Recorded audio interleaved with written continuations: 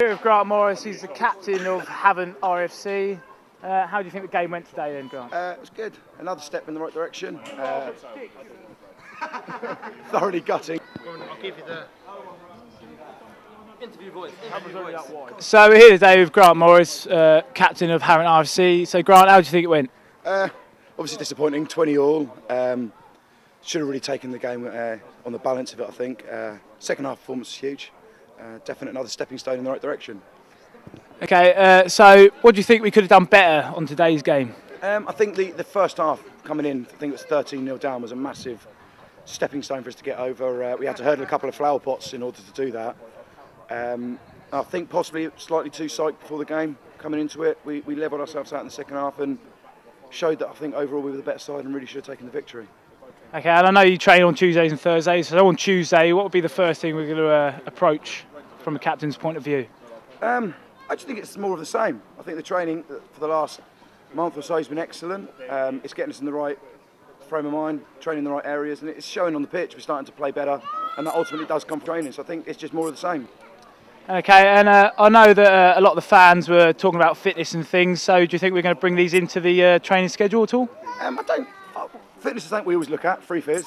Um, but looking at out there, I think man for man, we were fitter than them for the whole game. Uh, proved in the fact that in the second half, after uh, 40 minutes of rugby, we dominated. I mean, as a uh, as a spectator, I'm stuck in limbo because I don't really support either team. But I know that both teams played well, and uh, I know that you'll uh, bring it to Tuesday and Thursday. So thank you very much, Grant. No, thank you. And, and it, what assistant coach, head coach? I'm a coaching assistant. but Coaches. I'll, I'll, go with I'll head coach. I'll go with head coach for this video. Yeah, video. that really pissed Will off. Oh yeah, we're uh, we're Havant RFC with the head coach Kerry Packer. Um, Kerry, what do you think uh, we worked on for this game? Well, the main things we've been focusing on for the for the last four weeks has just been shape and patterns. Um, we've got a bunch of very very talented individuals, um, and it's getting them to believe just how good they can be. And in order to do that, we put a bit of a shape on the game, where we want them to be at what time, and when they get there, what do they do? And it's starting to come now. You see in the second half, especially, the patterns started to move through. The forwards started to link up, the back started to get the ball wide, and suddenly we started scoring points. So that's very rewarding.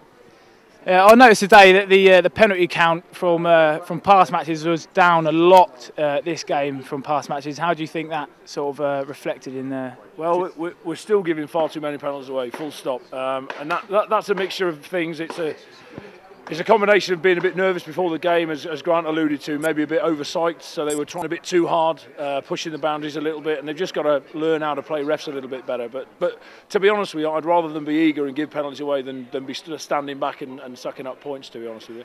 Yeah, I mean, from my point of view, it really looked like we took it to them today, and uh, from past matches, uh, it looked like really, really sort of pushed forward and had the aggression that we should have been showing in the earlier of the season.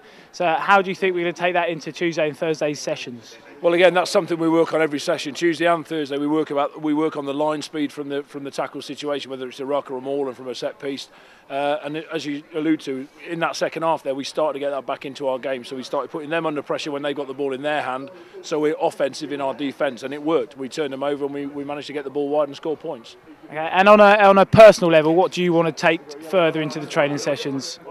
the belief, the belief side of things. I mean, Will, who was actually the head coach, I'm sort of his assistant. Uh, we played together back in the day, but my, my focus really is on their belief and their understanding of just ex- exactly how good they can be. Uh, once they once that clicks and it's it's nearly there, suddenly that arrogance, that strut comes into it, and before you know it, we're winning games without even thinking about it because they're just doing what they do, they're doing it well, and they're not worried about anything going wrong because it won't because they have the confidence. Thank you very much, Kerry Packer. I'm Josh Blackburn for CWN News. How do you, how do you think today's game went? What you want to bring into Tuesday and Thursday sessions, and uh, what we can look forward uh, to, to be doing in the Christmas, future with the club. Christmas. Lovely, Jubby. Lovely jubbly. We're going to keep we're going to keep it short. Hi, I'm Josh Blackburn here with Rob Matthews, uh, the manager from Havant RFC. So, Rob, how do you think today's game went? Unfortunately, it's a bit of a cliche, but it was a game of two halves. You know, the first half we were shocking. Uh, we gave them, you know, an easy 13-point lead, and then we were playing catch-up. To our credit, you know, we came out firing on all cylinders at the beginning of the second half. Got a couple of quick scores and kept the pressure on. Bit disappointing to give away a try towards the end to allow them the draw, but you know, if we go back to sort of just before the Bracknell game mid-December, the reality is is that you know we hadn't actually scored 20 points in a game before then, and now we're disappointed when we only get 20, and that's the measure of how far we've come. Uh, we've heard a couple of opinions uh, in previous interviews. Uh, from a personal level, what would you like to take into Tuesday and Thursday sessions?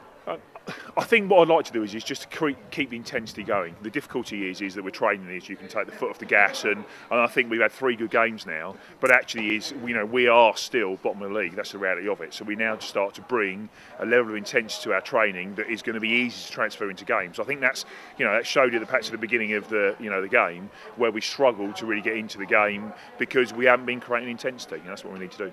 And uh, just quickly, as a look forward, what can the fans and I and everyone else be looking forward to as a future of Havant RFC? I think in, I think that we've got a lot of young players in there. You know, we've got four or five players that are playing at you know under 20 level, and, and the reality is, is beginning of the season they just weren't experienced. We're now halfway through, and the benefit of playing those boys are starting to show where they are now being able to grind out, you know, for 80 minutes where perhaps we didn't do before. So I think that's going to continue to grow, and honestly believe is that we're going to be competitive in our mini league of five at the bottom. You know, and, and if we, you know, if we keep developing the way we are, then I honestly believe that we'll stay in this league and then can build on for it for next year. Uh, thank you very much, Rob Matthews, and that brings it to an end. Thanks, thank you very much.